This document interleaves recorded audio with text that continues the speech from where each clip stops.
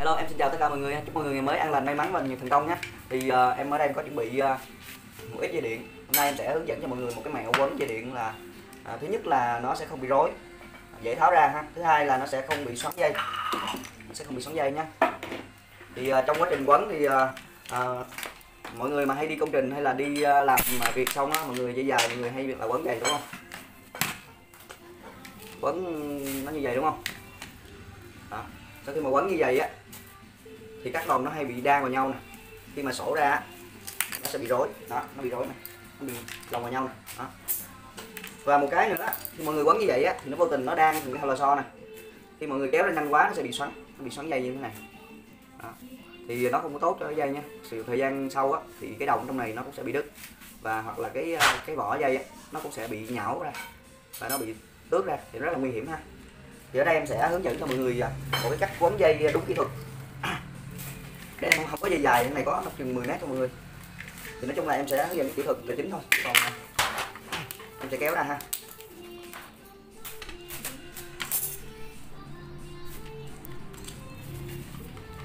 Rồi, một cái cuộn dây như thế này. Một cuộn dây như thế này thì mọi người sẽ quấn à, như em nhé đầu tiên mọi người cái cái tay mọi người để thẳng như thế này cho em. Mọi người để cái tay thẳng như thế này nha, không có co vậy nha đó. khi mọi người quấn mà mọi người bẻ tới bẻ lui này nè thì một xíu mọi người sẽ biết nhé đầu tiên mọi người sẽ cầm cái đầu dây này nha. Thẳng tay. Nè. Quấn. Tại vì là quấn quấn tròn hết đúng không? Thì chúng ta sẽ quấn xéo này à, quấn chữ x. Tạo một cái chữ x ngay cái cái cổ tay nha. Thẳng tay nha mọi người. Thẳng tay để làm gì mọi người? Thẳng tay để xíu nữa mọi người có thể dễ dàng lấy cái tay ra. Nếu mọi người co tay á là xíu mọi người quấn chặt quá. Quấn siết chặt quá. Thì xíu mọi người cứ nhắc luôn. Đâu đâu có lấy ra được đâu. Nó vướng ngón tay gái không lấy ra được nha thì mọi người thẳng tay giùm mình. Đó tiếp tục nè. Vẫn đang chỉ trên đây nhé nhưng mà lòng vào nhau nhé để các vòng của nó sẽ cắt nhau ra. Và không có bị uh, khi mà mình lấy ra nó sẽ ra từng vòng một luôn. Tiếp theo nè. Đó. Rồi cái đây là cuối cùng rồi ha.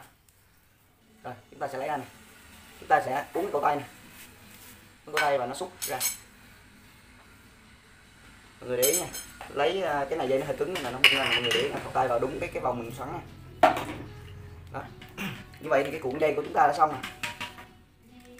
Thì nó có một cái vòng đầu tiên. Vòng đầu tiên là cái, ngay cái cái ổ cắm mọi người, thì nó sẽ không bị xoắn này. Đó, mọi người để nha. Chúng ta gấp lại nè đây. Cái này là để sắt nha mọi người. Đó. chúng ta sẽ úp nè tùy theo chúng ta muốn rút một nếu mà cuộn dây to quá chúng ta phải rút hai lần nhé. Cuộn dây nhỏ thì chúng ta rút một lần. Đó. chúng ta sẽ thể rút hai lần và rút vòng vào đây. Thì lúc đó thì cái này chúng ta có thể cầm để sắt nè. Cầm để sắt nè. Hoặc là chúng ta cuộn dây nhỏ thì chúng ta kẹp vào chúng ta sắt luôn. Đó. bây giờ mình sẽ tháo ra cho mọi người xem là nó rất là dễ tháo mà không bị rối nha.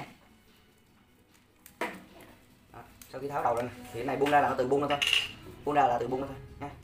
Thì cứ đầu này chúng ta cứ xả ra thôi à xả bằng cục này tiếp nhầm nhầm nhầm. Xin lỗi mọi người. Xả bằng cục này đó tại vì nó đang xéo với nhau là nó đâu có đồng với nhau đâu. Nè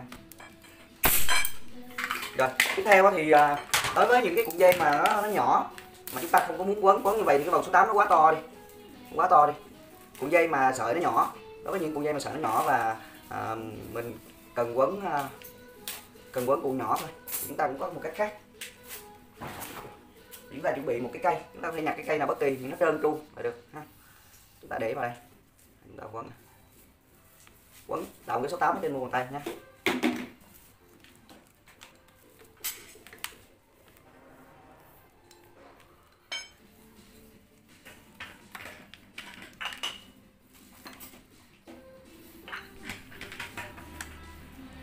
Rồi ok. Đây là cái máy cắt mình làm cố định luôn. Nó dính vào luôn nha mọi người.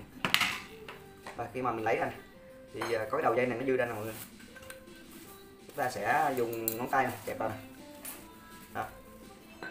ở đây thì nguyên lý nó cũng vậy thôi nó đang lồng vào nhau này. Chúng ta tháo thì chúng ta sẽ tháo bằng cái đầu cuối nha đó. như vậy là chúng ta xả ra xả từ từ từ đây nó sẽ không bao giờ bị rối đâu nha mọi người cầm cái này lại Anh vừa sáng anh nhà đi thi rồi. à, thi bằng lái hả À. xả ra vậy là xả ra rồi ok. Sợi dây không bị hề bị xoắn nha mọi người. Cái này là thực tế là mình không phải là mình quấn lò xo như này. Quấn lò xo như này khi kéo ra này. nhìn thấy không? Quấn lò xo như này khi mà kéo ra thì chắc chắn là nó sẽ bị này nó bị lò xo này đó nhìn thấy không? Đó. tức là nó bị mấy vòng lò xo rồi. Mà mình cái này là mình ghép vào thôi. Này người để ví dụ như là à, mình kẹp cái này nhé.